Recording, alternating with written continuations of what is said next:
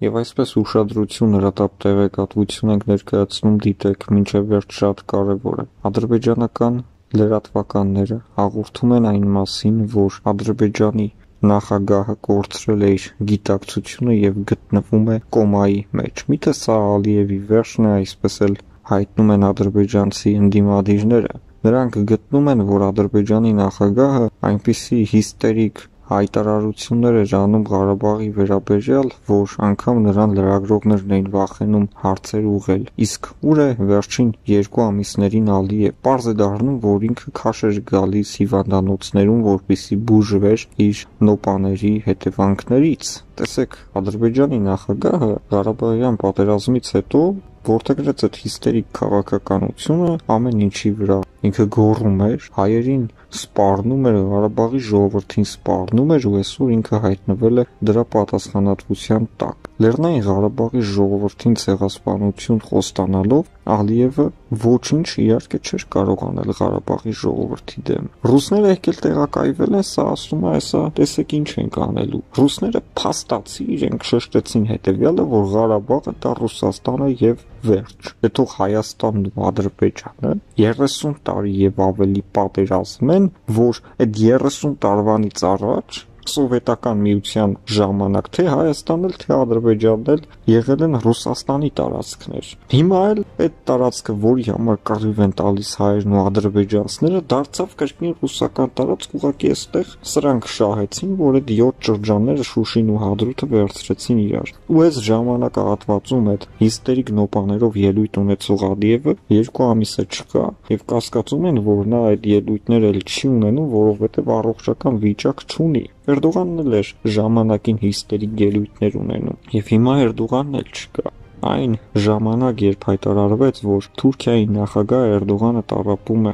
շատ ծանր հիվանդությամբ, որը ամբուժելի է եւ մահաբեր, այդ ժամանակվանից Էրդողանի գիտակցությունը ժամանակ առ ժամանակ ուղակի գնալով ավարտվում էր, նա կորցնում էր գիտակցությունը եւ իհարկե ամբողջ Թուրքիան այսօր էր Դուղանին դեմ։ Նախ նրա համար, որ իրենց երկիրը ղեկավարում է առողջություն չունեցող ծերուկ եւ հետո նա շատ վատ քաղաքական ղեկավար է։ Հնարավոր է Թուրքիան այսօր ունի հզոր բանակ, բայց չունի տնտեսություն։ Գտնվելով շատ լավ դիրքում, Թուրքիայի դիրքը այսօր այնպիսին է, որ ինքը կարող էր աշխատել միլիարդավոր դոլարներ, թե туриզմով եւ այլ գործարքներով Էրդողանը հույս է դրել, որ իր սիրելի Ալիևը իրեն նավթ է տալու ադրբեջանական նավթաբաժնից, բայց Ադրբեջանի նախագահն էլ հույս ունի, որ Էրդողանի այդ հույսերը չեն արդարացվելու։ Սրանք իրար են մորթելու, որովհետև մեկը մյուսին թշնամի է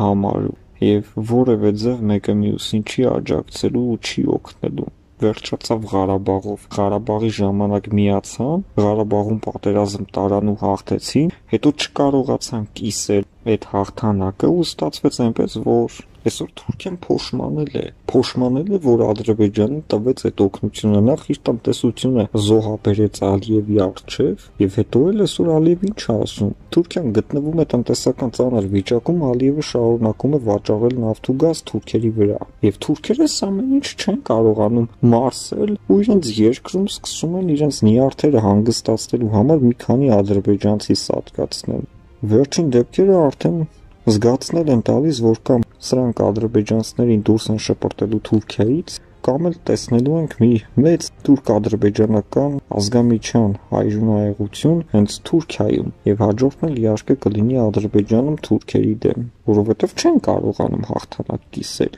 Եվ եթե իրենք գտնում են, որ Ադրբեջանին իզուր են օգնել, արդեն փաստում են հետեւյալը, որ Ադրբեջանը այնպիսի պետություն է, որ ինքը կարող է դավաճանել իր ամենամտերիմ բարեկամներին, ել ուր մնաց նոյեմբերի 9-ի պայմանագիր պահի։ Հետևաբար ռուսները այս ամեն ինչից հետո չպետք է բանակցեն ադրբեջանցիների հետ։ Պետք է միանգամից տեղում գնդակահարել Ղարաբաղցու վրա կրակող ադրբեջանցի զինվորի։ Եվ այսպես հրատապ տեղեկատվություն։ 3 խափանվել է ադրբեջանական ավիաընկերությունների աշխատանքը։ Նաև օդ չեն կարողացել բարձրանալ թուրքական արտադրության բայրակտարները և տարատեսակ այլ ռազմական ինքնաթիռները։ Խոսքը այն մասին է, որ Ադրբեջանի օդանավակայանները, ամբողջ ինքնաթիռները ըստ Ադրբեջանի իշխանությունների գտնվել են պայթունավտանգ իրավիճակում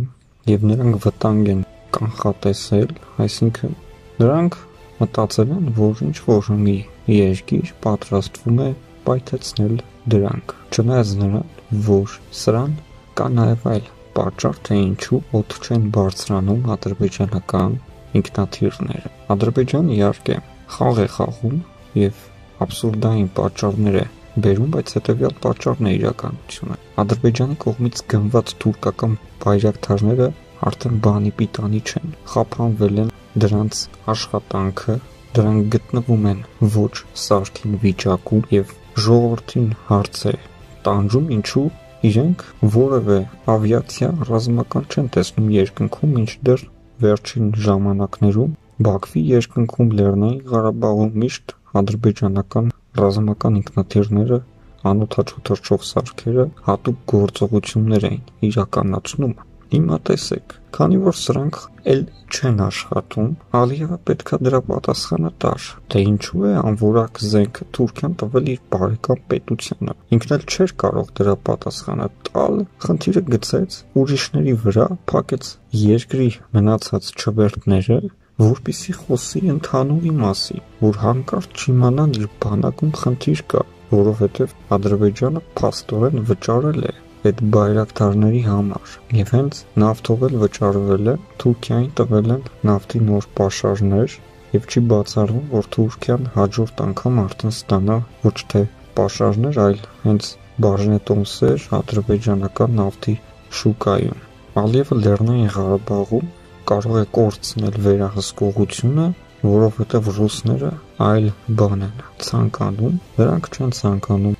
այդտեղից հեռանալ, արդեն սա պարզ է դարձել բոլորին, բայց նաև չեն ցանկանում ուղիղ կերպով արտահայտվել դրա մասին: Բայց իրենք կսկսեն նոր խաղ Հայաստանի ու Ադրբեջանի հետ: Պետք է զգույշ լինել աշխարհաքաղաքական խաղերի մեջ չմտնել, իսկ մտնելուց իմանալ, թե մենք ինչ խաղ ենք խաղալու և ինչպես ենք կարողանալու ուղղակի դուրս գալ դրանց միջից հաղթանակած կամ գոնե կորուստներ չտանք: Իսկ Ալիևի խաղերը նշանակում է, որ ինքը իր երկրում կորցրել է վերահսկողությունը բանակում, քաղաքական դաշտում և իր քաղաքական ընդդիմադիրները բնականաբար վերջին շրջանում շարունակաբար մեծ ռեյտինգներ են հավաքում ընդդեմ Ալիևի, նրան սարքում են ազգի դավաճան, որովհետև դավաճանը նրա համար, որ տասնյակ հազարավոր ադրբեջանցիների սպանել է յոթ շրջանները գրավելու